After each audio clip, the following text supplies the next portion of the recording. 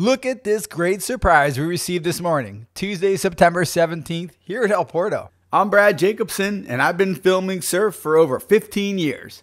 I've seen every type of surfer surf every type of wave, and these are my stories.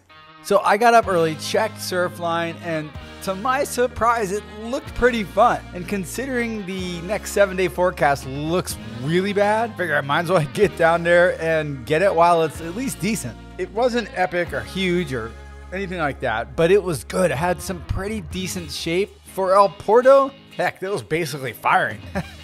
we had fun waves, really good talent, and great weather all lining up for a great Tuesday there at El Porto.